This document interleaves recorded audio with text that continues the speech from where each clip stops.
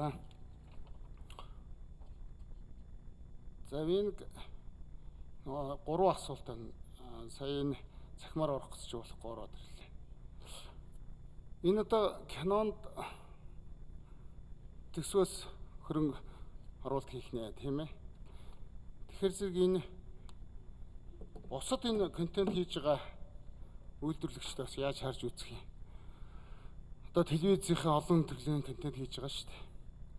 А бүр цаашлуул өөр төрлийн бизнес бизнесүүд байна тийм ээ. Энэ одоо сайхан программистууд байна. Олон төрлийн аппликейшн бичиж байна тийм ээ. Эднэрийг бас яах юм? Энэ талаас орсон энд? За тэгээ цаашдаа ингээд төр хөрөнгө өгөхөр зэрэг араас нь одоо юу хийж нээж ийн бас харах хэрэгтэй болох баг. Тэгэхээр зэрэг нөө цензур мензурийн асуудал энд орж ирэхгүй юу? Энэ тал дээр бас ямар а юм энд орсон юм бол За тэгээ энэ цензурын асуудал ороод ирвэл одоо бид нар чинь тэрийнхэн төрөөрөө одоо энэ урлагтаа цензур тавиулах юм л энэ хуулиар хийх гэж хийж магадгүй шүү дээ. Тэгэхээр энэ талаасаа бас эн чинь сөрөг ус үрдэг урагч магадгүй ийм бас бодогдож байна. За тэгээд энэ их усүрийн яг бас кино урлагаа дэмжих сан гэж бас нэг сангийн асуудал гарч ирэх юм байна. Байдагч байхаа да ер нь. Тэгэхээр зэргийн самда сан чинь нөгөө л төсвийн бодлого төсөөнөө олон сан байгуулж эвдээд ингээд манай энэ одоо сайд нар маань яриад байдаг чинь энэ зовлон гарч ирэхгүй юу? Тэгж юу их усүрээ бас яах вэ? Их усүрээ бас ерөнхийдөө тодорхойлж байгаа юм байгаа юу? Их усүрээ одоо буцааж нэг жижиг дунд үйлдвэр шиг энэ э, зээл өгөөд тэгээд буцааж энэ эргэлтээс нь орж ирнгээ тэгээд таг байхгүй. За цэрэн банзаг шүү нэмэлтийг бол Одоо жижиг дунд жижиг дундын яг дэмжих сангийн чинь одоо 300 тэрбум бол одоо эргэлтээс орж ирэх хэрэгтэй гээд нэг ч байхгүй байж байгаа шүү дээ. Энэ шиг юм асуудал гарахгүй үстэ. Энэ талаас нь бас яаж анхаарч энэ хуулиндаа тусгаж оруулж байгаа юм бол. За ийм гурван асуулт. За. Намын сайд 80 төгрөг үлээ.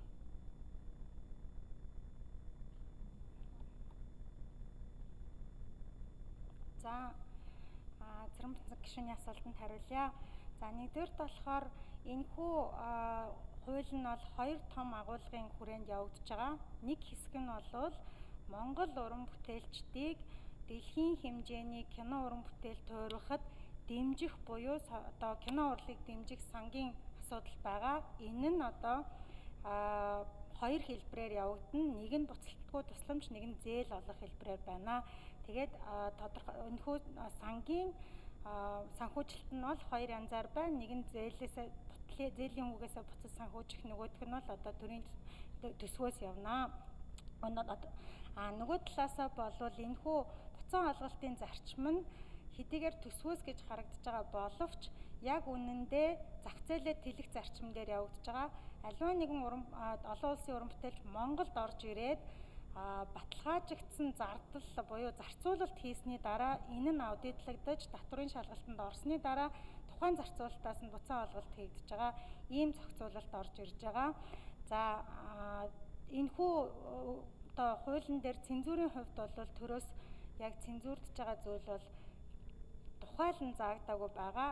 Харин зөвлөлийн гишүүдийн хувьд дандаа мэрэгжлийн уран бүтээлчд байгаа бөгөөд энэхүү одоо кино урлагийг цааш нь хөгжүүлэх тал дээр байгаа хүмүүс байгаа учраас ямар кино хэрхэн одоо цааш нь буцаа олголтын дээр оруулах вэ гэдгээ шийдвэр гаргах зарчимтай байгаа.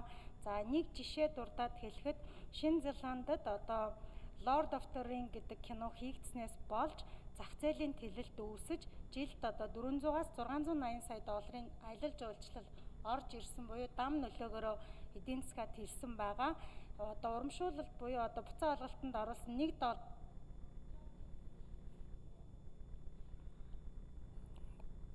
За онгорын дамжны байнгын орооны дарга боловсрол соёлын спортын байнгын орооны дарга дамжны гүйцэж хариулна. За соёлын тухай хуулийг дэмжиж гаргасан бас эрхэм гишүүдэд талархал илэрхийлье. Тэгээд энэ засгийн газар парламентаас